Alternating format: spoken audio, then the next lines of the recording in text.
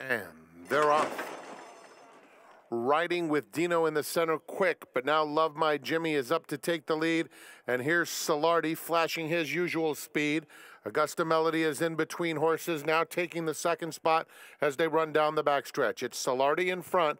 Augusta Melody is racing in second. Another half length to Love My Jimmy in third. See Through It makes it four right across the course. And See Through It is tugging on the far outside. They have put six or seven lengths on Anaconda, outside City Rage, then Spirit Maker, riding with Dino, and Escape Route the distant trailer. Midway on the far turn, Salardi, Augusta Melody, head and head. See Through It third.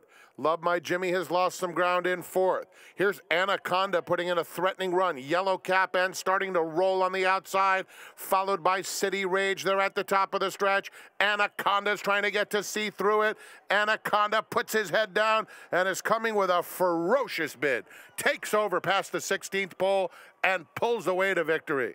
Anaconda wins stylishly. Photo for second. It went to See Through It barely fending off a rallying riding with Dino.